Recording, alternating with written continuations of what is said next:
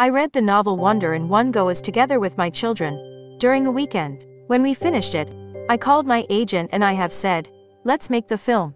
Julia Roberts at the Cine, but she is among the protagonists of the film Wonder, directed by Stephen Chbosky. She tells the story of a child no, August Pullman, with a rare disease, syndrome of Treacher-Collins, which deforms his face. For the first time, at 10, Augie makes his entrance to school.